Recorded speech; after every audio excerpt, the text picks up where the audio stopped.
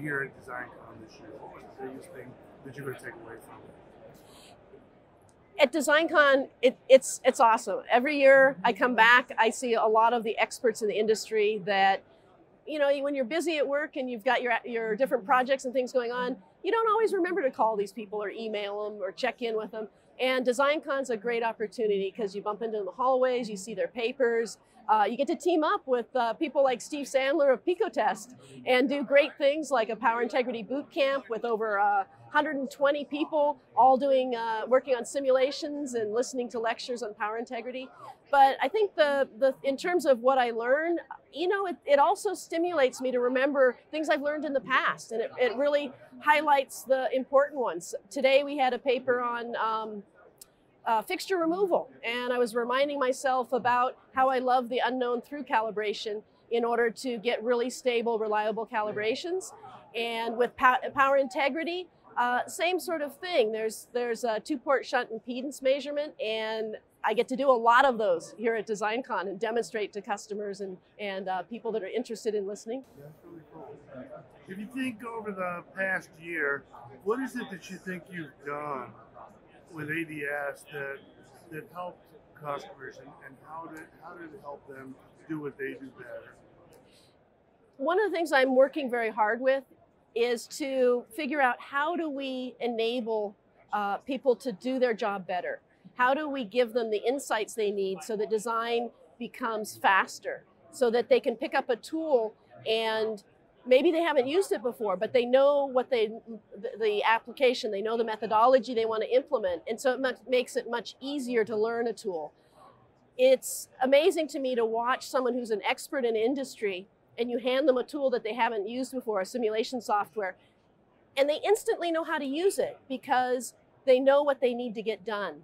And so one of our, our goals with the Power Integrity Bootcamp was not to do the latest, most complicated, sophisticated simulation that we can to show them how great and, and wonderful uh, uh, some tool is, but to give them the basic uh, simulation capabilities, to start giving them insight and give them a methodology to follow so that when they get to the end of that methodology, they have all the, the tools and the insights and the, uh, uh, I guess I would say, com- confidence to actually then embark upon a very sophisticated and uh, complicated simulation that will really predict and tell them what's happening with their electrical circuits.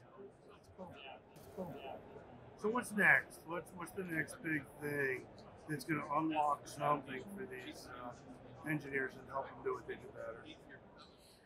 I, I still believe that making it more commonplace and making it faster and easier to use EM models of printed circuit boards and getting better circuit models of say the, the like state space average models for switching converters, um, DC to DC converters, getting the, the, I guess I would say higher fidelity models and being able to integrate all of that efficiently is where I think we need to go next because lumped SPICE models aren't going to cut it for the future.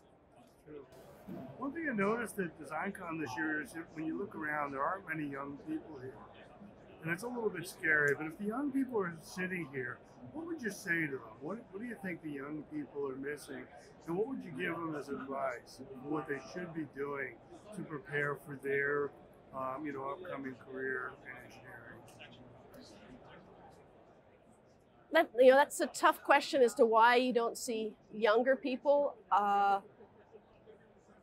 I think that for one thing, a lot of the stuff that we're working on here, the very the latest in signal integrity and power integrity and some of those applications, take a tremendous amount of, of experience.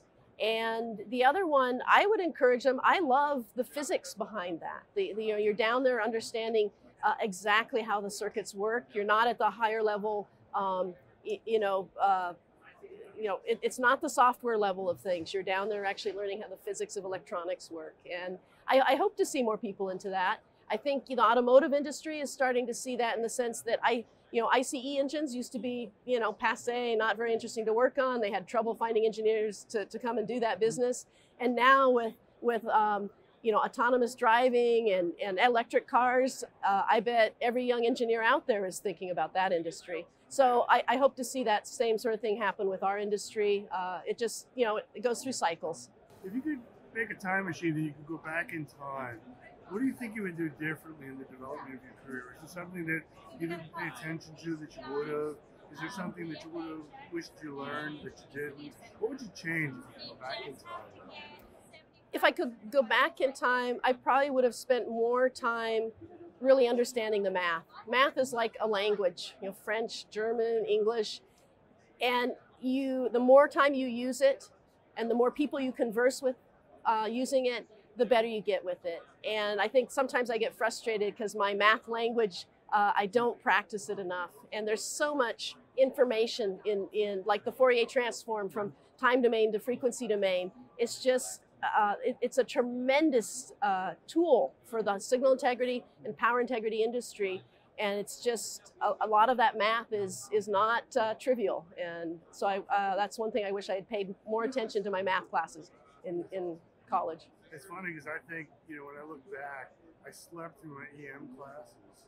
And it was like, I'm going to be an electrical engineer. What the hell am I going to do with EM?